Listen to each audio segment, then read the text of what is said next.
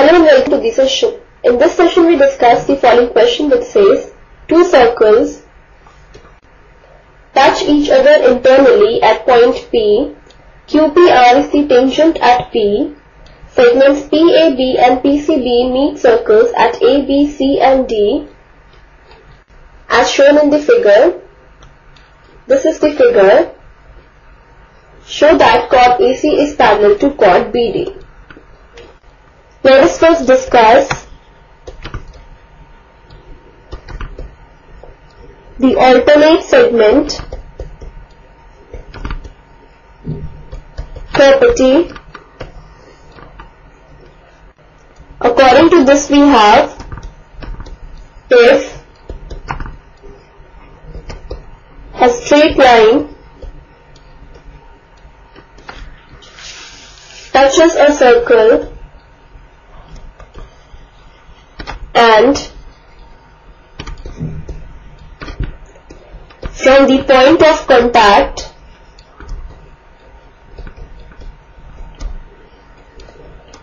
a chord is drawn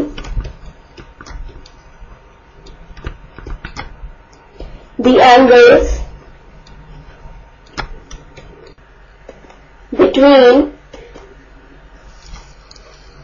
the tangent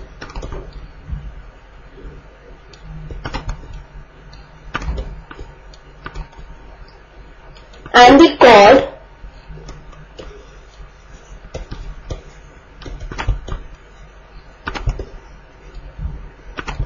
are respectively equal to the angles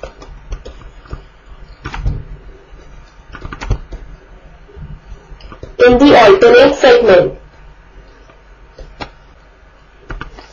This is the key idea that we use for this question. Let's proceed with the solution now. This is the figure in which we have that the two circles touch each other internally. Then we are also given that QPR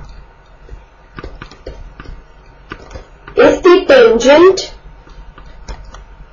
at the point P and where we have segment PAB meets the two circles at the points A and B and the segment PCD meet the two circles at the points C and D. And we are supposed to prove that AC is parallel to BD. Now,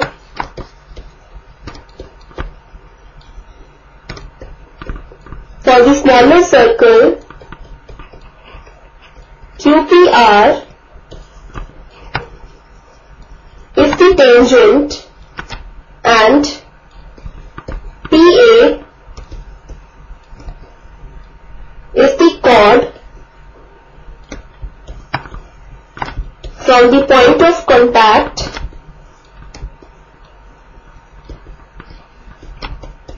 P that is this point. And from the alternate segment property we have that if a straight line touches the circle and from the point of contact a chord is drawn, then the angles between the tangent and the chord are respectively equal to the angles in the alternate segment. So since this is the tangent and this is the chord, so the angle between the tangent and the chord that is this angle would be equal to the angle in the alternate segment that is this angle. So we have angle QPA is equal to angle ACP. Let this be result 1 and this is using the alternate segment property. Now we consider the bigger circle. So, for the bigger circle, QPR is the tangent to the circle and PB is the chord from the point of contact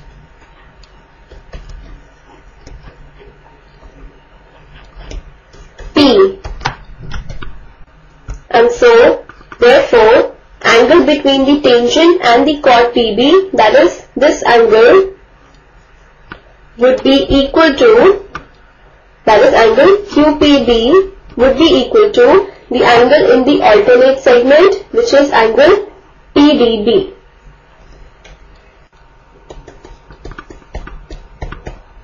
Let this is the result 2 and this is also using the alternate segment property. Now angle QPA and angle QPB are same that is these two angles are same therefore we say from 1 and 2 we have angle ACP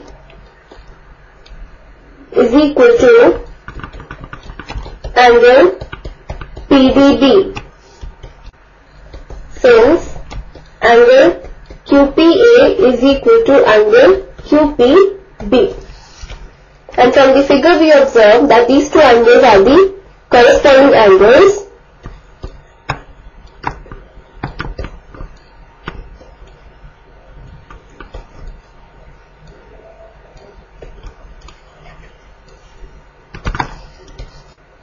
and we know when two lines are intersected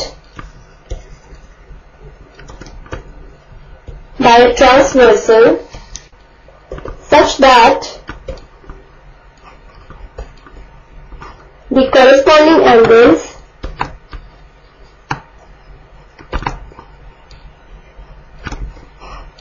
are equal then the two lines are parallel. Now as these two angles are the corresponding angles and they are equal, therefore AC is parallel to BD. And this is what we were supposed to prove. So, hence proved.